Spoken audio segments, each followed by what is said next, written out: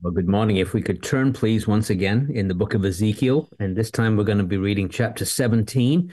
We'll read the first 10 verses, and we're going to be thinking this morning about two eagles and three shoots. Two eagles and three shoots, as in uh, shoots coming out of the ground. So, verse 17. Uh, ch- verse uh, chapter 17 verse 1 it says the word of the lord came unto me saying son of man put forth a riddle and speak a parable unto the house of Israel, and say, Thus saith the Lord God, a great eagle with great wings, long winged, full of feathers, which had diverse colors, came unto Lebanon and took the highest branch of the cedar. He cropped off the top of his young twigs and carried it into a land of traffic. He set it in a city of merchants. He took also of the seed of the land and planted it in a fruitful field. He placed it by great waters and set it as a willow tree. And it grew and became a spreading vine of low stature, whose branches turned toward him, and the roots thereof were under him. So it became a vine and brought forth branches and shot forth sprigs. There was also another great eagle with great wings and many feathers. And behold, this vine did bend her roots toward him and shot forth her branches toward him, that he might water it by the furrows of her plantation. It was planted in a good soil by great waters, that it might bring forth branches and that it might bear fruit, that it might be a goodly vine. Say thou, Thus saith the Lord God, Shall it prosper? Shall he not pull up the roots thereof, and cut off the fruit thereof, that it wither? It shall wither in all the leaves of her spring, even without great power or many people to pluck it up by the roots thereof. Yea, behold, being planted, shall it prosper? Shall it not utterly wither? When the east wind toucheth it, it shall wither in the furrows whereof it grew. And again, God will bless that reading of His precious word to us uh, this morning. Now, before we dive into chapter 17, we just have a little bit of um, unfinished business in chapter 16. I think we had uh, got last time up to verse 61. And uh, of course, it's about the new covenant. And I just wanted to finish off uh, this uh, chapter. And it really is interesting that this chapter, which is probably one of the most bleakest chapters in the sense that God had accused uh, Judah, as we remember last time, of being worse than Sodom and uh, also uh, worse than Samaria, and accusing uh, this nation of her multiple whoredoms and harlotries, and it was a, a hard chapter to look at uh, because it was it was really uh, very bleak in its condemnation of Judah. But even at the end of that chapter, there's a uh, there's a, a glimmer of hope, and God is saying that even though they were covenant breakers, uh, they had broken the covenant, uh, the, the marriage covenant that they had entered into with Jehovah that he, being as faithful as he was, was not going to break his part of the deal. In fact, he was going to make a new covenant with them. And so we'll just read verse 60 Nevertheless, I will remember my covenant with thee in the days of thy youth, and I will establish unto thee an everlasting covenant. So God is saying to them, uh, I'm not going to forget, even though you forgot your covenant, you uh, didn't keep your side of the bargain. Uh, I'm going to remember my covenant with you when I when I rescued you in the beginning. I'm going to remember that, but I'm also going to enter into a new covenant, and this one is going to be an everlasting covenant. And so he says, verse 61 Then shalt thou remember thy ways and be ashamed uh, when thou shalt receive thy sisters, thine elder and thy younger, and I will give them unto thee for daughters, but not by thy covenant.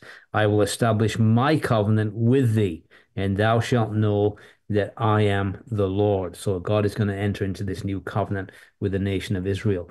And it's it's a tremendous thing that uh, God is going to do with them. He's not only going to make good on the past covenants that he made but he's also going to make this new covenant with them. And unfortunately, uh, many in, in Christendom uh, do not pay attention to the covenants of Scripture and uh, they that's why they have Israel is completely finished because they're not paying attention to the covenants of Scripture. And God is going to fulfill His covenants that He made with Abraham, Isaac, and Jacob, and He's going to do it through this new covenant that He's going to enter into and make with the house of Israel and the house of Judah. And so He's going to do this, and um, uh, uh, when He does that, they will know that He is the Lord. And so, verse sixty-three. Uh, it tells us this that thou mayest remember and be confounded, and never open thy mouth any more because of thy shame, when I am pacified toward thee for all that thou hast done, saith the Lord God. Now, this is a very important verse, verse 63, that we want to pay attention to. First of all, notice that he's going to say to them that uh, in that day, uh, that their, their mouth's going to be stopped. It says that thou mayest remember and be confounded and never open thy mouth any more because of thy shame. And so it reminds us of Romans 3.19, doesn't it? Where God says that every mouth will be stopped. All the world will be made guilty before God. And they're going to come to this place where they're filled with shame and how they have treated their husband, and they will uh, again the, the, the, the mouth is going to be stopped. They're not going to be criticizing anymore. They're not going to be saying anything negative or trying to justify themselves. They're going to acknowledge their guilt before God uh, for the way they treated their husband. And then uh, another word here that's very significant in verse 63 it says, When I am pacified toward thee, for all that thou hast done. Now, what's interesting is that this word pacified is the word that normally is translated atonement. And so God is saying, when I am pacified towards you, or more literally, when I atone for you. And so God, God's grace is going to accomplish the work for them so that they might be restored to Him but that work is going to be an atoning work that's going to make it possible for him to take up his dealings with this nation and bless them again. And of course, we know who it was that accomplished that work. It's the Lord Jesus. He is the mediator of the new covenant by his blood.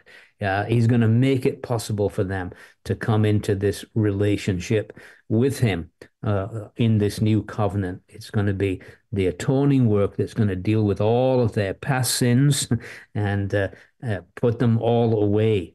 And so uh, he's giving this idea of a God provided atonement. Uh, an important aspect of the new covenant. Now, we said already in chapter 11, he's hinted at this new covenant relationship in chapter 11, verse 17 through 21. And I'll just take a minute to read it. It says, Therefore, uh, therefore say, Thus saith the Lord God, I will even gather you from the people, assemble you out of the countries where you have been scattered. I'll give you the land of Israel, and they shall come thither. They shall take away all the detestable things thereof and all the abominations thereof from thence, and I will give them one heart. I'll put a new spirit within you. I'll take the stony heart of out of their flesh, will give them a heart of flesh, that they may walk in my statutes, keep mine ordinances, and do them, and they shall be my people, and I'll be their God. But as for them whose heart walketh after the heart of their detestable things and their abominations, I'll recompense their way upon their own heads, saith the Lord God. So kind of a mixed response. Those that those that do respond to God, uh, they're gonna He's gonna make this new covenant with Him, and then there's going to be others that are going to face judgment. And so we know when we look in the last days that the nation of Israel, uh, the Lord is going to return to deliver them. And we know from Zechariah, they're going to look on him whom they've pierced and they're going to mourn for him. And then it tells us that there's going to be a fountain opened uh, for sin and for uncleanness. Of course, that's that fountain we often sing of, a fountain filled with blood drawn from Emmanuel's veins. Sinners plunged beneath that flood lose all their guilt and stains. And so those Jews that look on him and uh, that was pierced and believe on him and repent because of it, that new covenant will become good for them. They'll enter into it. They'll have a new heart, a new spirit that he'll put within them. And it'll be a regenerated Israel that go into this time of incredible prosperity under the new covenant. And so that's the, the future prospect. And again, back in verse 63, he says, When I am pacified toward thee for all that thou hast done. The only thing that could pacify the heart of God against man's sin and rebellion is the atoning work of the Lord Jesus Christ, his work on Calvary's cross. And so, as we uh, of course, have considered the sad history of Israel in this chapter was brought out last time in the conversation afterwards, that it does remind us a little bit of the church of the Lord Jesus, and especially uh, how the church lost its first love, and then the Laodicean church, uh, when it had become rich and increased with goods and need of nothing. And of course, this is what happened with Israel when they were taken. They had nothing, and then they reached their elevated state under Solomon. They were rich, increased with goods, need of nothing, and then they began their harlotry. And so there's definite parallels uh, to uh, the church in Laodicea that is rich and increased with goods has need of nothing, but basically has turned away from the Lord so much so that he's outside of the house, uh, knocking on the door, wanting to come in. And so there's there's certain parallels in chapter 16 that we want to draw and, and affirm. But now we want to move on to chapter 17. And this is uh, what we said about two eagles and three shoots. Now, this uh, chapter uh, it's there's there's necessary background to it in other places. So I, am going to give you um, some scripture references. Now we're not going to look at all of them, although we will probably turn to all of them during the course of the study, but not right now. But I'm going to just give you them to begin with. So if you really want to understand Ezekiel 17, you also need to read the following chapters. Now we're going to read from one of them, but I'm going to list them all. Uh, and and so it's kind of interesting how you know one of the things we do in Bible study method is we compare scripture with scripture, and often other scriptures throw light on the passage we're looking at. Well, this is a, a case in point, and so the first reference I'm going to give you, and again we probably will turn to some of it during the course of our study, is in Second Kings chapter 24 and verses 8 through 20. So if you're a note taker, you can write that down. Uh, Second Chronicles 36, which again, Kings and Chronicles, a lot of parallelism, and verses 9 through 13. Now, what I will do is I'm going to read from this one. And so you get an idea what all these passages are about, and it will throw tremendous uh, shafts of light on, onto the passage we're looking at in uh, Ezekiel 17. So let me just read from Second Chronicles 36 and we get an idea a little bit about the eagles and the shoots uh, from this. So, verse 9 of Second Chronicles 36, it says, Jehoiakim was eight years old when he began to reign, and he reigned three months and ten days in Jerusalem, and he did that which was evil in the sight of the Lord. Isn't that incredible? At, eight years of age, three months' reign, and he does evil in the sight of the Lord. And when the year was expired, King Nebuchadnezzar sent and brought him to Babylon with the goodly vessels of the house of the Lord, and made Zedekiah his brother king over Judah and Jerusalem. Zedekiah was one and twenty years old when he began to reign, and he reigned eleven years in Jerusalem. He did that which was evil in the sight of the Lord his God, and humbled not himself before Jeremiah the prophet, speaking from the mouth of the Lord. And he also rebelled against King Nebuchadnezzar, who had made him swear by God, but he stiffened his neck and hardened his heart from turning unto the Lord God of Israel. And so uh, just keep that that thought in mind. So when we talk about two eagles and three shoots, two of the shoots uh, are going to be Zedekiah and Jehoiakim, uh, the two kings. Jehoiakim, verse nine. Zedekiah is the second one, and we'll we'll see. It'll it'll explain itself as we go. But I just want you to know uh, these are key uh, passages to consider. Jeremiah thirty-seven is another parallel passage and then Jeremiah 52 and verses 1 through 7. So those are the four passages that give necessary background when we look at this chapter. And of course, just to say this, that we're very thankful, I think, to the Lord, I hope we are, that scripture is often self interpreting. That is, one passage throws light upon another passage. And by the way, just as an aside, that's why you need to be reading consecutively through the whole Bible. Because if you really want to understand the scriptures, one passage throws light on another passage. And so it's amazing. I do my readings, I've got four different places I read from. And it's amazing how many times when I'm reading through that one place I'm reading, another place throws light on what I'm reading in the other place. And that really is important to, to really compare scripture with scripture and allow scripture to throw light on, on the word of God. And so after um, listening to the previous messages, some of the uh, those in Jerusalem and those in captivity might be tempted to say, why should we be punished for the past sins of the nation? Remember, he'd just gone through all the idolatries, all the whoredoms of the nation in its past history in chapter 16. So there are some that would be listening to that and say, well, it's okay, but like, what about us? You see, we we didn't do all that. We're just, you know, we're being judged because of the past sin. So Ezekiel now addresses the current sin of the nation, and in particular, its leader Zedekiah, that being the sin of treachery and breaking an oath sworn in the name of the Lord. And again, I just want to go back to that passage that I just read from in Second Chronicles 36. And we see here that he had sworn in the name of the Lord to Nebuchadnezzar that he wouldn't rebel. Uh, it was a kind of a vassal state. And so, it, again, we just want to take a minute to read uh, verse 12. He did, it says Second Chronicles 36, he did that which was evil in the sight of the Lord his God humbled himself not before Jeremiah the prophet speaking from the mouth of the Lord. He also rebelled against King Nebuchadnezzar, who had made him swear by God, but he stiffened his neck and hardened his heart from turning unto the Lord God of Israel.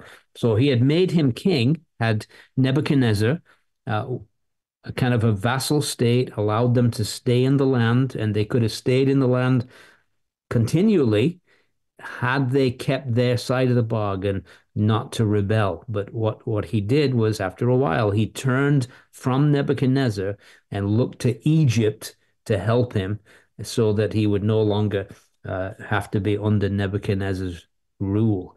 And so he basically uh, broke the vow that he had made, and he had made it in the name of the Lord.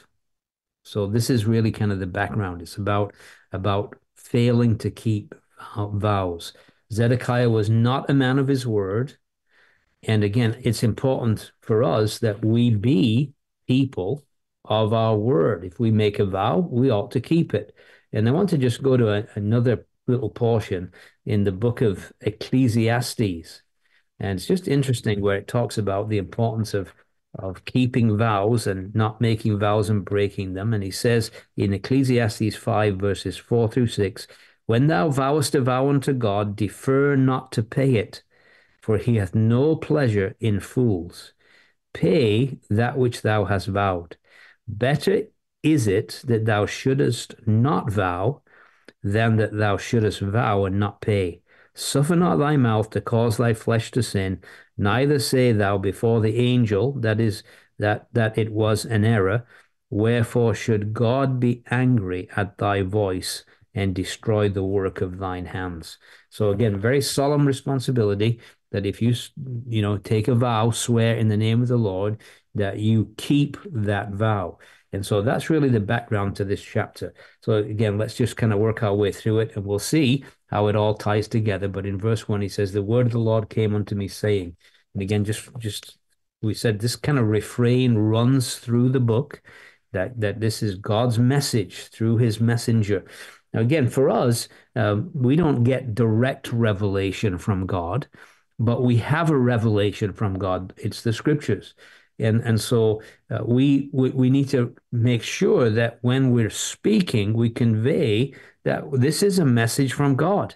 Uh, it's the scriptures, but it is God's message. And so there's that authority connected with it. And so as we preach, we, we should preach with that sense that we're, we're giving an authoritative message from God because we're speaking out of the scriptures. And by the way, we have no other authority. Our opinions are worthless. It's what does the word of God say? And when we're preaching, we can say, Thus saith the Lord. This is what God says on this topic. And so we do need that kind of authoritative uh, teaching of the word of God and say, This is the word of the Lord. And of course, uh, I think it's good. Uh, I remember uh, when, uh, as a child, going to the, the Catholic Church, and when they would read from the scriptures, at the end of it, they would say, This is the word of the Lord. and I like that. It's a, it was good to be reminded. This is the word of the Lord. This is not some person's opinion. Pity they didn't take it seriously and obey it. But anyway, they did, at least they said, It is the word of the Lord. And so, certainly, we, we want to recognize God speaking. And so, what's his message? He says, Son of man, put forth a riddle and speak a parable to the house of Israel. And so, it's a, a message takes the form of a riddle and a parable. A riddle because it takes some explanation. And we're going to see that this morning. And a parable because it's given in the form of an allegory. So just someone one person put it this way the manner in which plants and animals relate in the story carrying on as if they were humans. So the two eagles the three shoots they you know he's using them as it were to tell his story as if they're humans. And we see a lot of that don't we? Like the a lot of kids books like beatrix potter and you know she's got these rabbits that act like humans. And so he's taking eagles and shoots and doing that same kind of thing. And so a, a riddle because it's taken the form, it takes some explanation. Uh, a parable because it's given in this allegory form with these uh, plants and animals as if they're humans and it, would have amused the audience. It would have got their attention. Of course, they, they love to listen to Ezekiel. Later on, it's going to tell us that to them, he had a lovely voice. They actually came to, even though they had no intention of doing anything with what he said, they actually enjoyed hearing him speak because of the eloquence with which he spoke. And so this certainly would have enhanced his reputation as a spinner of riddles. And so in verses 1 through 10, we actually have the allegory. And then in verses 11 through 21, we have the interpretation of it. And then in verses 22 through 24, we have the epilogue. So it's kind of a pretty straightforward chapter the allegory, the interpretation, the epilogue. And basically, the there's two things going on. There's the parable of the eagles, which is in the first section of verses 1 through uh, 21. And then you have the parable of the cedar, which is verses 22 through 24. Again, we, we just reemphasize that this whole parable uh, describes events that took place between the time of King Jehoiakim's exile, when Nebuchadnezzar took him into Babylon in 597 BC. By the way, that's the same time when he was taken uh, that's the same time when others went along with him in that deportation, some of the chief princes and others, 597 BC. So that that's the when this takes place. And it's also uh, when Nebuchadnezzar placed Zedekiah on the throne uh, of Judah to replace Jehoiakim. And the year that Zedekiah revolted against Babylon because he trusted in the promise of Egypt's help in 588 BC. So, really, we can historically pin this chapter 597 BC to 588 BC is the time frame that we're dealing with in the chapter. So, we'll notice verse 3 and say, Thus saith the Lord God, a great eagle with great wings, long wind full of feathers, which had diverse colors came to Lebanon and took the highest branch of the cedar.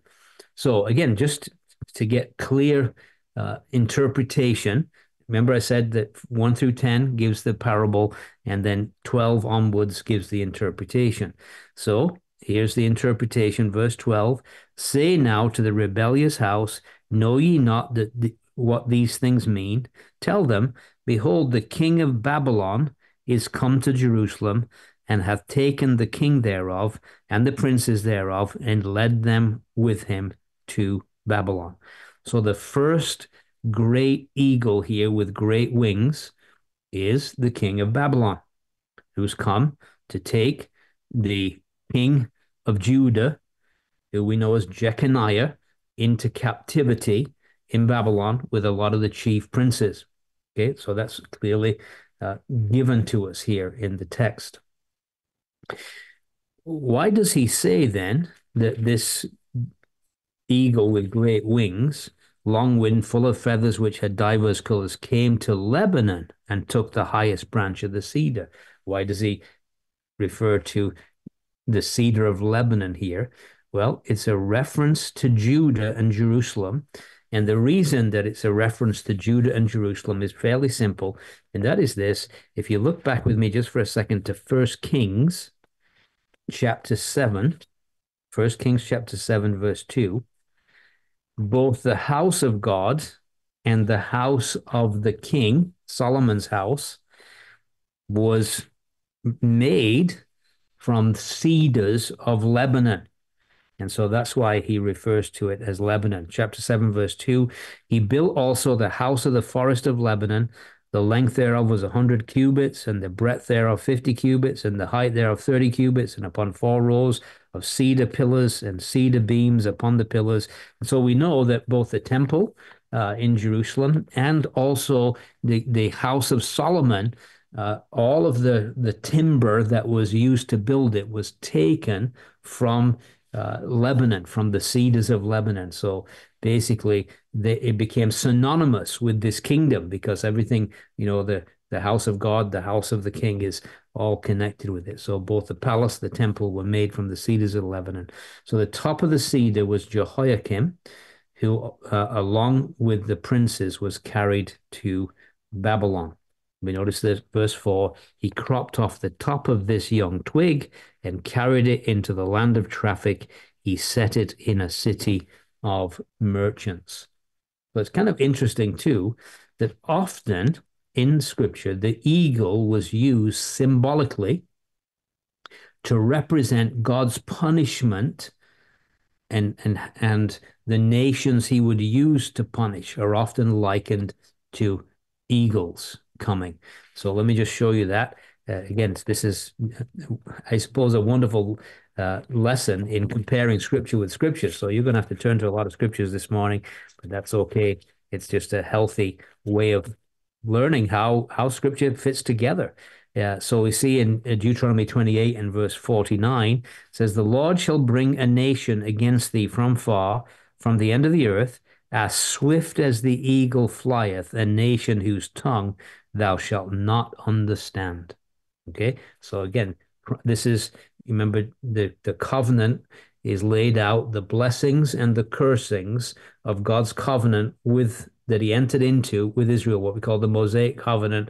If you obey it, this is going to happen. If you disobey, this is going to happen. So, this is the section of disobedience. And he said that when you disobey, the Lord will bring a nation against you from afar, from the end of the earth, as swift as the eagle flieth. And so, again, the likening of God's judgment to an eagle. Uh, book of Isaiah, chapter 46. Prophecy of Isaiah, chapter 46. In verse 11, he says, Calling a ravenous bird from the east, the man that executeth my counsel from a far country. Yea, I have spoken it, and will also bring it to pass. I have purposed it. I will also do it. So again, now and a ravenous bird. Of course, an eagle is a bird of prey uh, from the east. The man that executes my counsel. Again, speaking of Nebuchadnezzar. And then in the book of Jeremiah 48, again, we're just seeing that this is a consistent testimony in the word of God to how eagles are used. Verse 40, for thus saith the Lord, says Jeremiah 48, 40, Behold, he shall fly as an eagle, and he shall spread his wings over Moab. 48, 40, 49, 22. So it's not just judgment on, on Israel, but God is using it to judge the surrounding nations as well. Behold, he shall come up and fly as the eagle and spread his wings over Bozrah.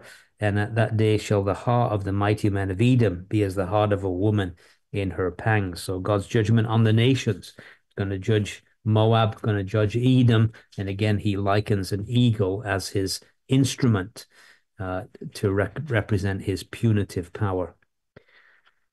So, back again in our passage, 597 BC was when Jehoiakim, Daniel, and the others were taken into captivity. Jehoiakim had only reigned for three months in Judah.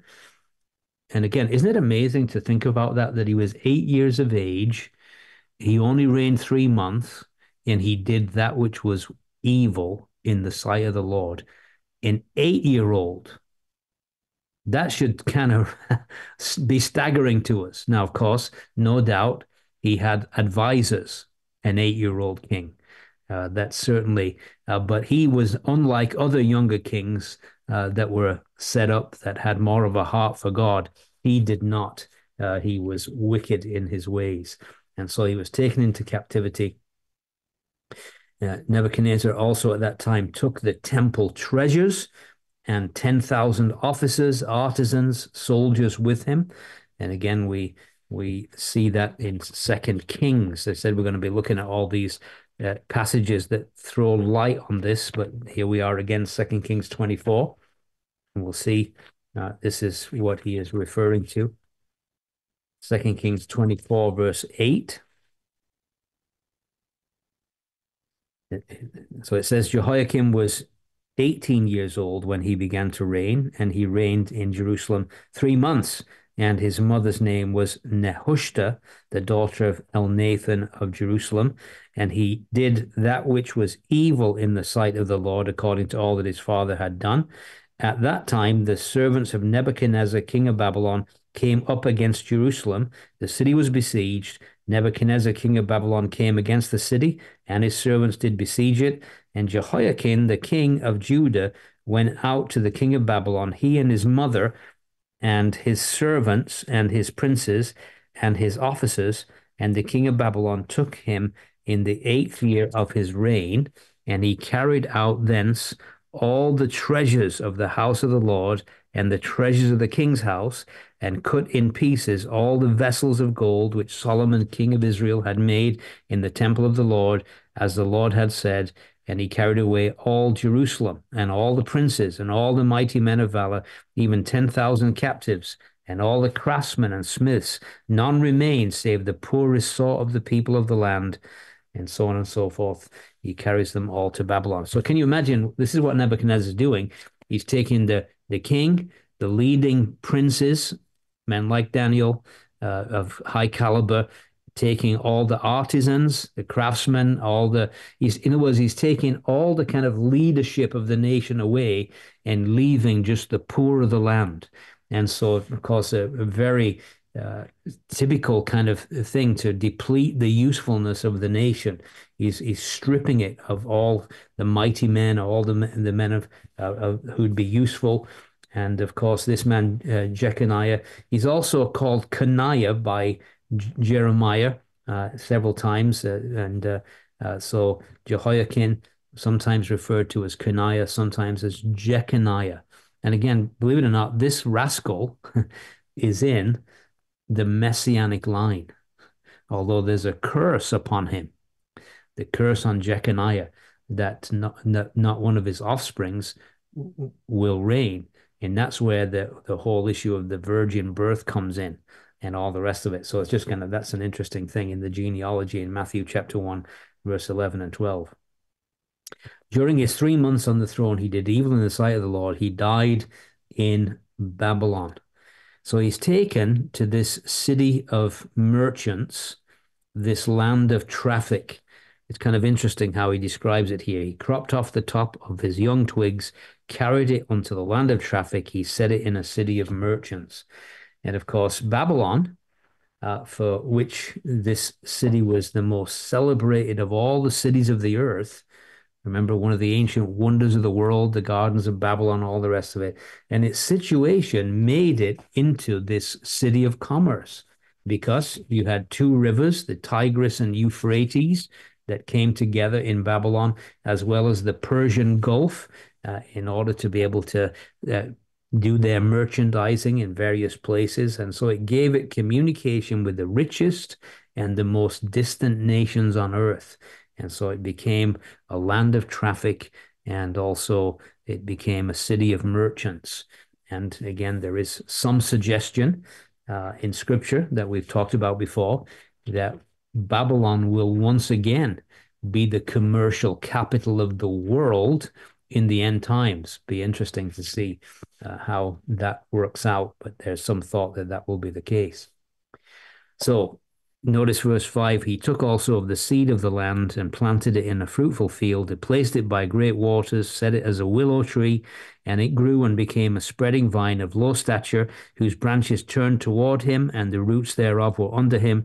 So it became a vine and brought forth branches and shot forth sprigs. So we see uh, again, it's a it's going to be just this spreading vine. It's not going to be like a cedar. It's not going to be impressive, just like a spreading vine. And the idea is this: that basically, uh, the the point was it was going to be like a vassal nation.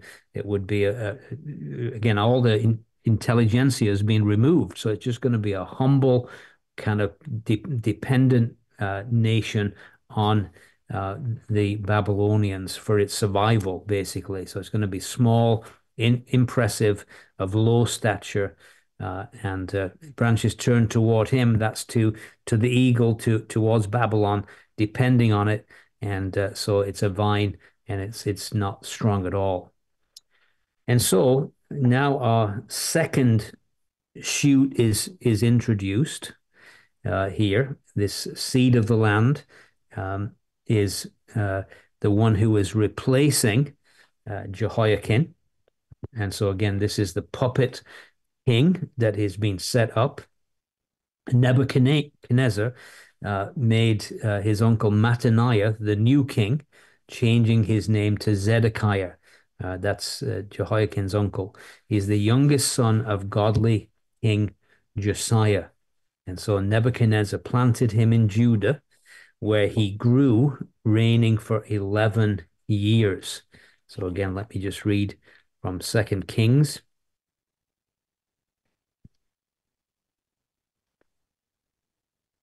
Chapter 24, once more, and verse 17.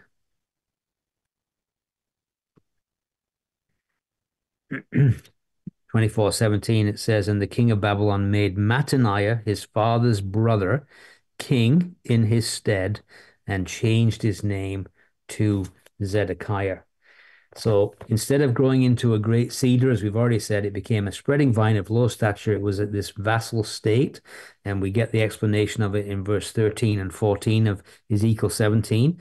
Uh, it says, uh, And he hath taken of the king's seed and made a covenant with him, and hath taken an oath of him. He hath also taken the mighty of the land, that the kingdom might be base, that it might not lift itself up, but that by keeping of his own covenant it might stand. And so the, the basic thought here is this that when Nebuchadnezzar had made a covenant with Zedekiah, although the kingdom was base, it would continue as long as the covenant was kept. And at first, Zedekiah was obedient. And so what he's saying is this Judah would, would still continue if it hadn't have broken this agreement with Nebuchadnezzar. Now, it would never be amount to much. It would be just a uh, basically a, a very poor uh, kingdom. The kingdom might be base of no consequences, but it still would continue to exist while ever this covenant agreement was in force uh, with Nebuchadnezzar. So, verse 7 is where we have the introduction of the second eagle. There was another great eagle with great wings and many feathers, and behold, this vine did bend her roots toward him, and shot forth her branches toward him, that he might water it by the furrows of her plantations. So this state did not continue of them being kind of cared for by Babylon. We're now introduced to the second eagle, which is the king of Egypt. How do we know that? Look at verse 15. But he rebelled against him in sending his ambassadors to Egypt, that they might give him horses and much people. Shall he prosper? Shall he escape that doeth such thing things, or shall he break the covenant and be delivered? And so he now uh, is. We are introduced to uh, king of Egypt. He, at that time, 588 BC, uh, it was Pharaoh Hophra uh, who, who was the king, and Zedekiah foolishly looked to him for help. Let me read Second Chronicles 36, 13. It says this, Second Chronicles 36, 13. He also rebelled against King Nebuchadnezzar, who had made him swear by God but he stiffened his neck, hardened his heart from turning unto the Lord God of Israel. So instead of turning to the Lord to help him, he turns from Nebuchadnezzar, who he'd made this agreement with, and he turns to the king of Egypt. What strikes uh, the listener or reader is the bird's passivity. This just says there's another great eagle with wings. He's not doing anything, he's just there taking no action, just simply there. But he looks to him, uh, to Egypt, that he might water it by furrows of her plantations.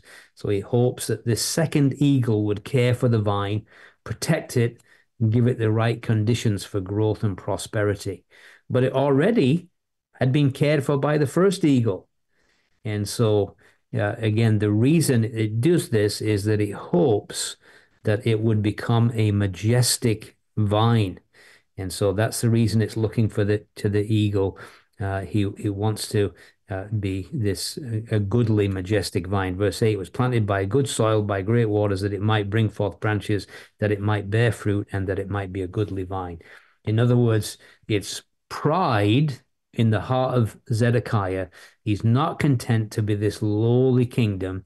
He wants to be this goodly, majestic vine uh, because, again, uh, and so he's looking to Egypt somehow that he might become a stronger and uh, more assertive, so to speak, even though it was already being taken cared for by Nebuchadnezzar. And so we're left once again to reflect on the vine's ingratitude and stupidity. Stupidity to break a covenant he'd made, swearing to God, and ingratitude because it could continue under the care of Nebuchadnezzar while ever it was content in its condition. And so, in verse 8, uh, we said it was planted by good soil, by great waters, that it might bring forth branches, that it might bear fruit, that it might be a goodly vine, looking in the wrong place. Verse 9, uh, so again, we, we, might say this uh, the favorable conditions Zedekiah and Judah were under, if they had just been content, there was no valid reason to rebel whatsoever. Verse 9 Say thou, Thus saith the Lord God, Shall it prosper? Shall he not pull up the roots thereof and cut off the fruit thereof, that it wither, that it shall wither in all the leaves of a spring, even without great power or many people to pluck it up by the roots thereof? So the question is this Will the vine survive after it's turned away from the first eagle and orientated itself towards the second eagle? That's the question. And it implies a strong negative answer. A summary judgment on Zedekiah throughout the through the instrument instrumentality of Nebuchadnezzar was announced. Even a small force of the Babylonian army would be sufficient to visit God's wrath upon them. Notice, notice how he, he words this in verse 9. He says, It shall wither in all the leaves of a spring, even without great power or many people to pluck it up by the roots thereof. In other words, it wouldn't take much to destroy them. Now, again, Jeremiah tells us this in Jeremiah 37. You should remember that was another one of the parallel passages that we could look to. But I really like the way he describes it in Jeremiah 37, verse 10. He says, For though you had smitten the whole army of the Chaldeans that fight against you, and there remain but wounded men among them, yet should they rise up every man in his tent and burn this city with fire. And so what Jeremiah is saying is, even if you destroyed most of the, the, the army of the Babylonians and there were just a few wounded guys left, and the reason is because God is judging Zedekiah because he swore in God's name and broke the covenant. And so he said, even if it was a bunch of wounded men, they would still defeat you because God has basically taken his protection away from them. So that though the vine stretched out roots and branches to the second eagle, the second eagle would not be able to shelter it against the coming storm. The vine would perish. Verse 10 Yea, behold, being planted, shall it prosper? Shall it not utterly wither? When the east wind toucheth it, it shall wither in the furrows where it grew. So the redirection of the vine's branches toward the second eagle, instead of having them spread out low to the ground, its roots turned upwards. Instead of going deeper into the fertile, well watered soil, it rendered the plant very vulnerable to the wind's withering force. And so basically, God is going to judge them because of this maneuvering and this move. So, verse 11, moreover, the word of the Lord came to me, saying, and here we get all the explanations. We've already looked at verses 12 and 13 and 14, but verse 15 clearly explains the issue. He rebelled against him in sending his ambassadors to Egypt that they might give him horses and much people. Shall he prosper? Shall he escape the doeth such things? Shall he break the covenant and be delivered? It was because he broke the covenant he had made with Nebuchadnezzar. God asked the question, Shall he prosper? Especially when the covenant had been sworn in the name of the Lord. And so again, just let's just remind ourselves of that very relevant scripture in Second Chronicles 36 13 that this vow was made in the name of the Lord. 36 13. He also rebelled against King Nebuchadnezzar, who had made him swear by God. But he stiffened his neck, hardened his heart from turning unto the Lord God of Israel.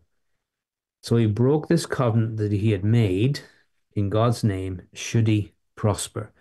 Could such treachery, which had called upon the name of the Lord, avoid such punishment at the hands of God who had been so insulted?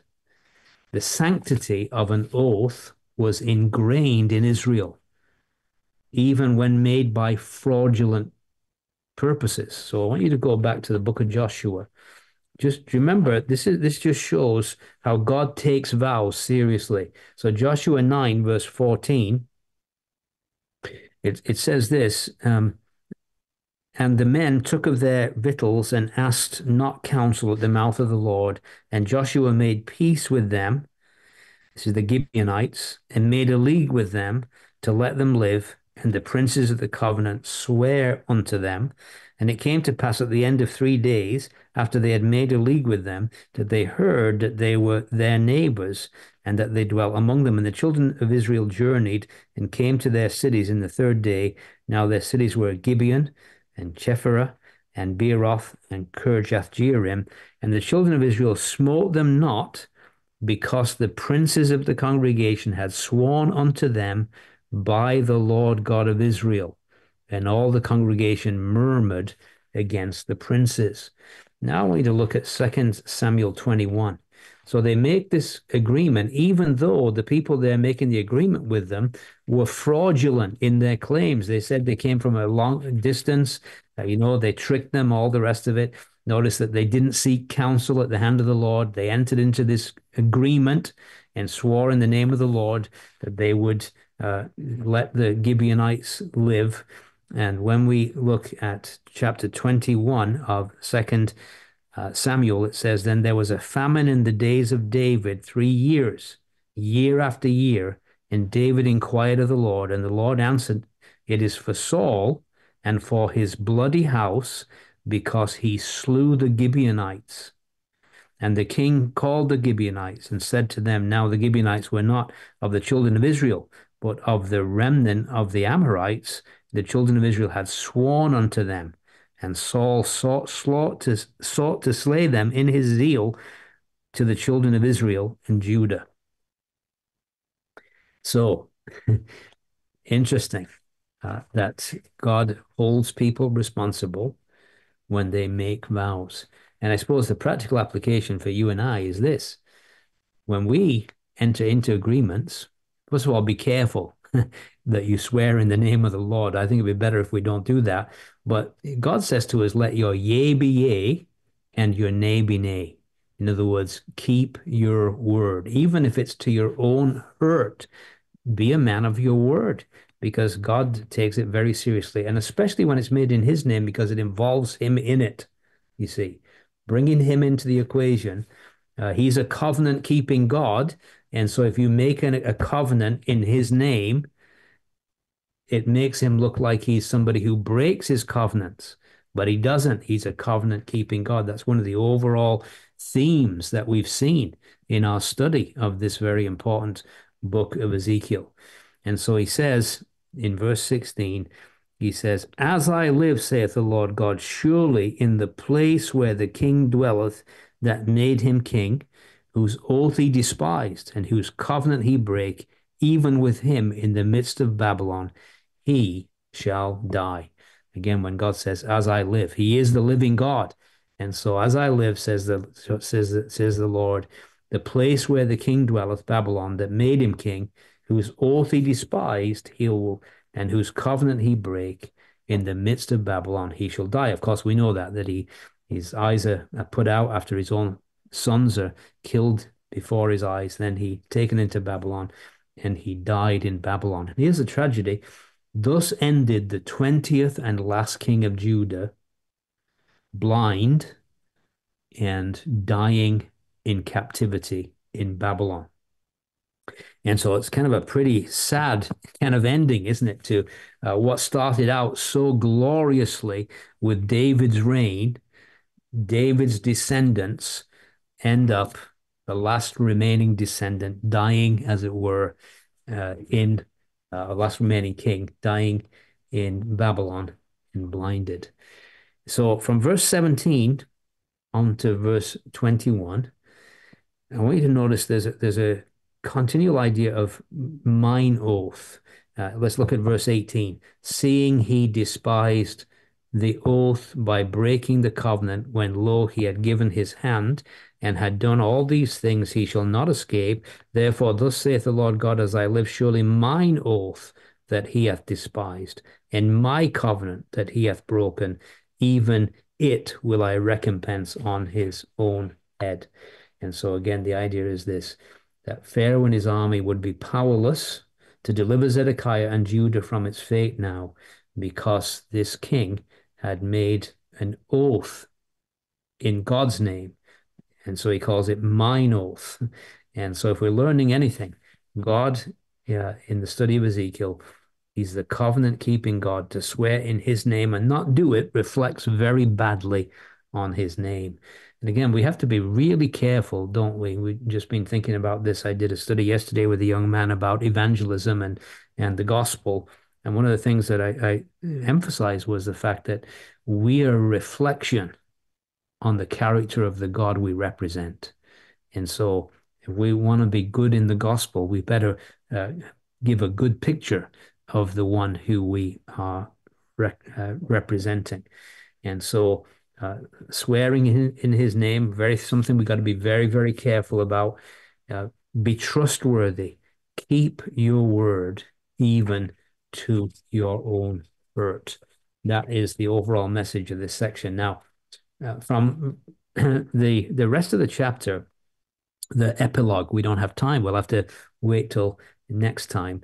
But there's there's hope even in this chapter, and it's a, a hope that uh, uh, even though uh, it seems like it's all over for the kings of Judah, there's going to be a root that will come out of dry ground. and God is going to set him on a high mountain and there's going to be a glorious kingdom. And I wish we could have got there and finished it, but we'll have to wait because our hour has passed and the time has gone. May the Lord encourage us with these thoughts.